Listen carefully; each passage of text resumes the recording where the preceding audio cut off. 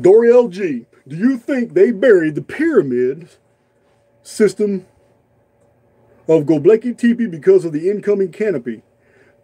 I don't believe they buried anything, but do you think they buried the pyramid system of Go? I don't know. Uh, you're gonna have to requote. You're gonna have to rephrase that question because they didn't bury a pyramid system. At, there are no pyramids at Göbekli Tepe, so I'm not. I'm not. Göbekli Tepe. Archaeologists believe that it was intentionally buried because it was absolutely packed full of dirt. The problem with that scenario is that the amount of dirt required to bury that civilization would have been more man hours of work than building the civilization itself. So, now, uh, Phoenix buried Göbekli Tepe. Göbekli Tepe dates from about 26th century BC. It is absolutely even in time with Knossos on Crete and the very beginning of Easter Island where Rongo Rongo was developed.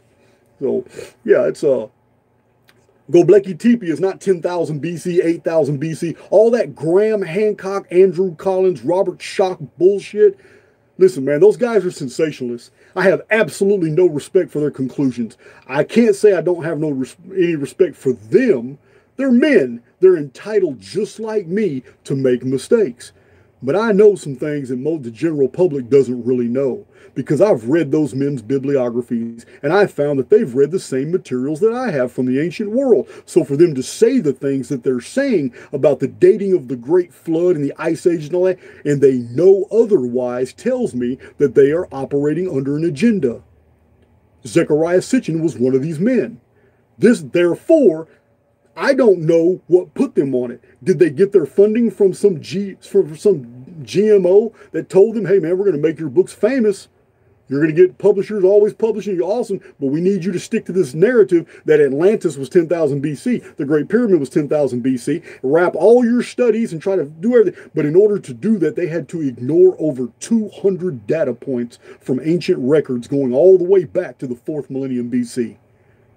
They've read the same text I am. So therefore, I can, I can quantifiably right here with zero pricks of conscience call those men liars. Simple as that. They're liars. Göbekli Tepe is not old. It has the same symbols as many of the civilizations of the 26th, 25th, 24th, and 23rd century BC, right before Phoenix took them all out in 2239 BC.